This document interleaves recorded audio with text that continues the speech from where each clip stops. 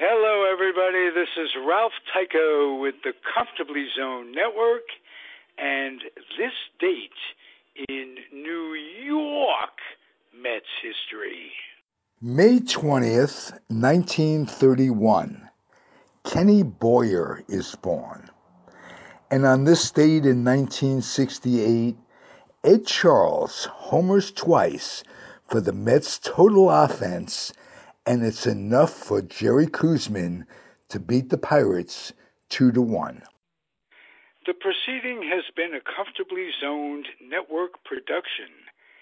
You are advised to keep your dreams wet, your humor dry, your children and grandchildren out of military recruiting offices and off the laps of clerics who wear dresses. Thank you for listening, everyone. Happy trails.